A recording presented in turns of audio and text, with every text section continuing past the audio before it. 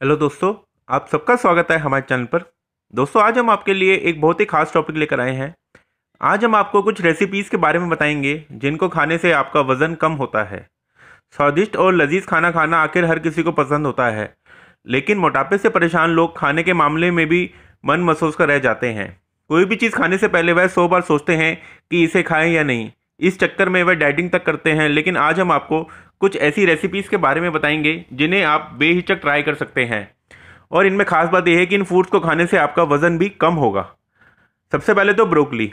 Broccoli को भी weight lose के लिए बेस्ट फ़ूड आइटम माना जाता है। ब्रोकली में बेहद कम कैलोरी होती है और यह जल्दी आपका पेट भर देती है।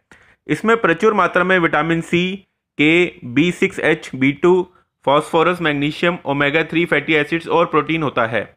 ब्रोकली को आप अपना स्टीम करके भी खा सकते हैं। इसके अलावा इसे आप सलाद या फिर सब्ज़ी के रूप में भी ले सकते हैं। दोस्तों, दूसरी आइटम है लाल शिमला मिर्च। लाल शिमला मिर्च को वज़न घटाने के लिए सबसे कारगर माना जाता है। इसलिए आप इसे अपनी डाइट में शामिल करें। आप इसे किसी भी तरह बनाकर खा सकते हैं, जैसे कि प्याज और लाल शिमला मिर्च का टोस्ट या फिर इसकी सब्ज़ी या फिर आप इसके रोल बनाकर भी खा सकते हैं।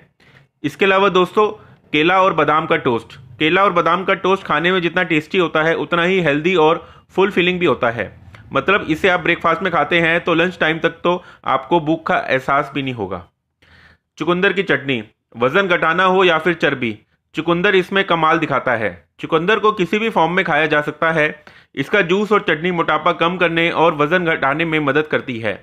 चुकंदर में vitamin C dietary fibre nitrates vitamin और फॉलेट होता है, जो कि हमारा वज़न कम करने में सहायक होता है। अगर आप डाइटिंग कर रहे हैं तो कद्दू यानी सीताफल एक ऐसी सब्ज़ी है जिसे आप बेहिचक भरपूर मात्रा में खा सकते हैं।